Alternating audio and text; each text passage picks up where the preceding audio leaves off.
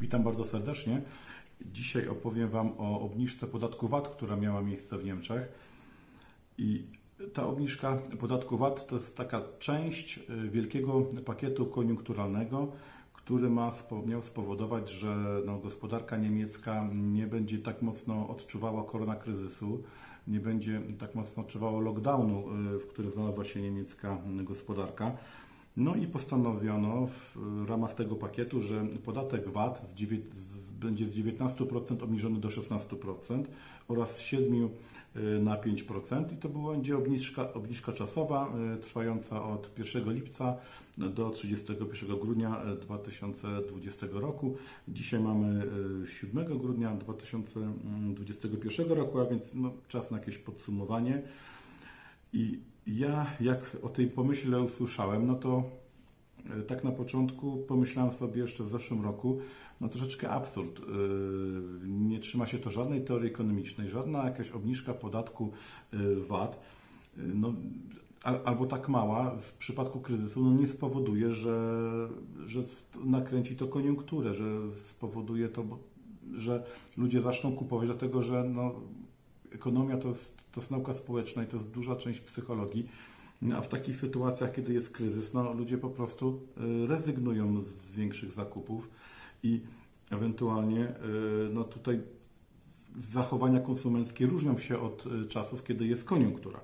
No ale na pewno wiemy jedno, tego, tego pomysłu nie przedłużono, a miał być on przedłużony na kolejne pół roku. No, pomimo to, że dalej jesteśmy w w gospodarczym lockdownie, to Niemcy tego nie przedłużyli. Oczywiście wyjątkiem tutaj jest branża mm, gastronomiczna, która od początku było wiadomo, że to będzie mm, obniżka podatku VAT na, e, działająca przez cały rok. E, I teraz e, krótko jeszcze tak o liczbach. Ja to przeczytałem sobie taki, taki raport, z, to jest Deutsche Bundesbanku. Ja go teraz właściwie sobie zacząłem czytać, dlatego też mam, e, nagrywam ten filmik. Ten raport e, to on ma 164 strony, ale jest to bardzo ciekawa analiza. Jeszcze przez nią nie przebrnąłem e, obecnej sytuacji. I krótko jeszcze no, powiem, że tak potwierdziły się moje przypuszczenia. Tutaj większość ekonomistów, większość instytutów twierdzi, że to nic nie dała ta, ta obniżka VAT-u. Koszt jej to jest około 20 miliardów euro dla budżetu państwa. No, oczywiście no, jest to koszt znaczny, a tak naprawdę no, co, co ta obniżka mogła dać? Co taki pakiet mógł spowodować? No i kto zyskał, kto stracił? Deutsche Bundesbank właśnie w tym, w tym raporcie, który pokazałem, twierdzi, że przedsiębiorstwa około 60, 60% wszystkich przedsiębiorstw no, obniżyło jakby swoje mm, ceny swoich produktów o tą właśnie różnicę tego VAT-u. Natomiast 40% nie. Jeśli chodzi o sektor usługowy, natomiast to około 30% e, usługodawców no, zdecydowało się na obniżenie na obniżenie kosztów swoich usług, natomiast większość z nich po prostu ceny usług e, podwyższyła. Oczywiście ten pakiet spowodował mnóstwo problemów natury, y, natury technicznej, bo to zaczęło wszystkie ceny, ceny zmieniać, y, wszystko na nowo przeliczać, y, a tutaj korzyści są niewielkie, o których zaraz powiem. Przytoczę jeszcze,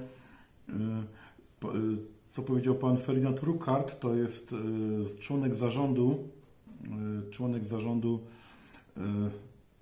EcoWise International to jest y, taka grupa doradcza audytor, y, audytorów konsultingu, doradztwa prawnego, która zatrudnia na całym świecie 7,5 tysiąca osób.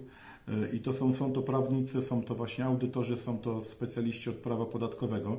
No i on powiedział tak, że z naszego punktu widzenia, czyli z tej grupy EcoWise International, półroczna wymiana, zmiana podatku na niższy nie ma się jak do wysiłku, które gospodarka musiała ponieść, żeby, to, żeby ten podatek zmniejszyć. Chodzi o tą, o tą całą, całą biurokrację.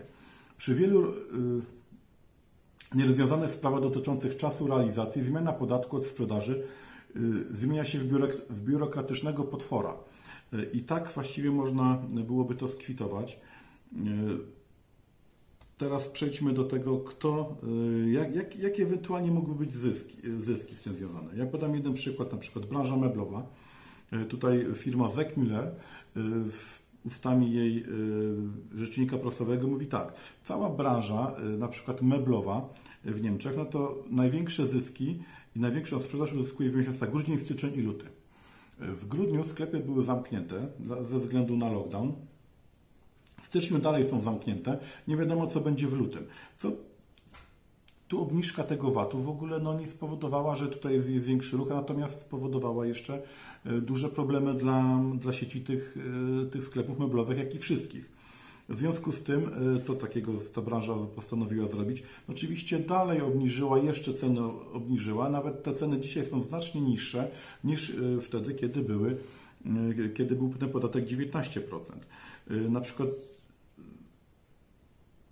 tutaj mogę podać te ceny mebli, natomiast no tutaj te obniżki są do 20-30% nawet, a nie tylko o, o te 3 punkty procentowe tego VAT-u. Kolejny przykład jest to na branża samochodowa.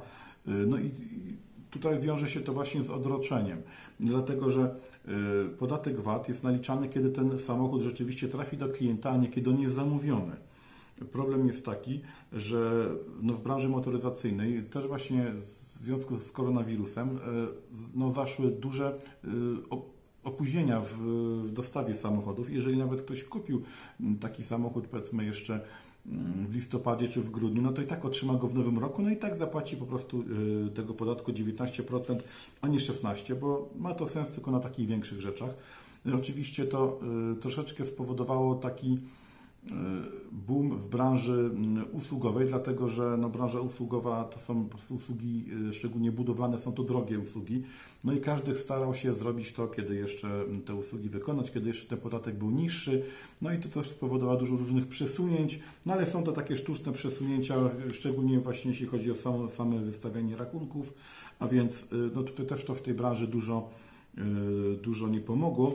Jeśli chodzi o gospodarkę, no to e, jeśli odbiła się ona e, w sierpniu i we wrześniu, no ale tak czy tak, nawet do, do września jeszcze jest, mamy spadek o 4%.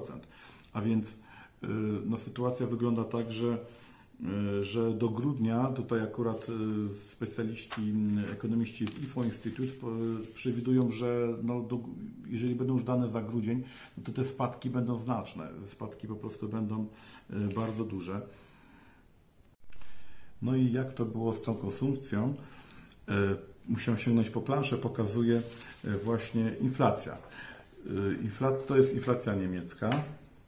Tu mamy historyczne dane od roku 1992 do roku obecnego e, i mamy inflacja w 1992 roku wynosiła 5%, no i potem utrzymywała się ona zazwyczaj w celu inflacyjnym.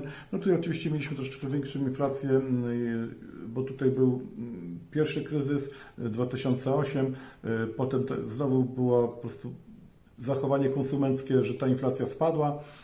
Pomimo tego, że pieniądze były drukowane, baza monetarna została zwiększona, ta inflacja spadła do 0,3%. No i e, tutaj przez kolejne lata rosła, czyli konsumpcja też rosła, dlatego żeby to jeszcze wytłumaczyć, to nie jest tak, że zwiększenie bazy monetarnej, zwiększenie ilości pieniądza na rynku e, powoduje inflację. Inflację powoduje, e, jeżeli to zwiększenie bazy monetarnej jest połączone z y, zwiększoną konsumpcją. Jeśli y, nie jest połączone z konsumpcją, no to, to inflacji po prostu nie powoduje, ona może powodować deflację. Y, I to są to, takie prawa ekonomii, które możemy zauważyć, jeśli w ogóle w ekonomii można mówić o jakichś prawach takich sztywnych, to, to, to jest jedno właśnie z tych, z tych właśnie praw, że że to nie zawsze jest tak, że jeżeli zwiększymy podaż pieniądza, że ilość pieniądza na rynku, no to towary automatycznie drożeją. Tak po prostu nie jest. One drożeją tylko wtedy, jeżeli konsumpcja się utrzyma lub w związku z tym będzie rosła. No i teraz dochodzimy do roku 2019. Tu mamy cały czas inflację no, mniej więcej w celu inflacyjnym, bo 1,4%, w 2018 1,8%, no i mamy rok 2020. Nie mamy jeszcze danych inflacyjnych, natomiast ta inflacja ma być podobna właśnie jak tutaj w roku 2009, po, po, po pierwszym kryzysie, to był kryzys tylko finansowy, koniunkturalny, no to, on, no to ta inflacja też ma wynieść około 0, między 0 a 0,5% obecnie. Nam, te dane mówią nam to, że po prostu ludzie ze względu, czy konsumenci, i tutaj też IFO Instytut dokładnie ma taką samą diagnozę jak ja, że po prostu pandemia, chaos tym związany właśnie z, no, powoduje inne zachowania konsumenckie. Strach przed utratą pracy, no, przed, przed utratą dochodu no, powoduje, że właśnie konsumenci no, ograniczają się do konsumpcji takich podstawowych towarów, natomiast yy, które tak by musieli kupić. I jak to, jak to wygląda w rzeczywistości, no to chciałem yy, pokazać, yy, co do takiego konsumenta to oznacza, zwykłego konsumenta, jakie, jaki wpływ ma zmniejszenie stawki VAT-u z, z 7 na 5% na podstawowe artykuły żywnościowe, jakie obowiązuje w Niemczech na budżet takiego przeciętnego Niemca. I tutaj wziąłem trzy towary pod uwagę. Wziąłem masło, mleko i chleb. I masło w sklepie Famarkt kosztuje 1,49 euro. To sobie te, te ceny sobie wziąłem z takiej porównywarki. Supermark Check. Supermark Check i no, tu mamy masło, kostka 250 gram. Cena tego masła aktualnie w sklepie Famarkt wynosi 1,49 euro przy 7% VAT. Cena przy 5% VAT byłaby 1,46 euro. Czyli tutaj mamy różnicę 3 centów. Jeśli chodzi o mleko, to mleko sobie akurat wziąłem z Lidla, który każdy też nas w Polsce zna. Tu mamy cenę mleka aktualną z sklepu Lidl. Ono kosztuje 1 litr mleko 3,5% kosztuje 79 centów. No i to mleko przy 5% wacie kosztowało 78 centów. To mamy różnicę 1 centa. No i jeszcze mam chleb.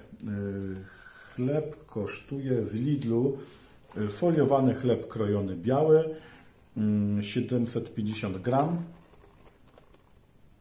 i można go kupić za 79 centów. Obecnie, kiedy, y, kiedy ten VAT już wrócił do, do, do 7%, no jakby 5% kosztował ten chleb 1 y, cent taniej, czyli 78 centów. Jak widzimy, no nie ma tu jakiejś większej różnicy, a to są, mówię o artykułach, które konsumenci tak musieliby kupić. I ważna tutaj jest ta, ta sprawa, że mm, jeśli chodzi o o te artykuły, no to one i tak, gdyby spadła na, na nie, gdyby spadł na nie popyt, i tak sklepy by sobie między sobą konkurowały i no i by zmniejszyło tego innego centa czy dwa, no przecież mamy promocję.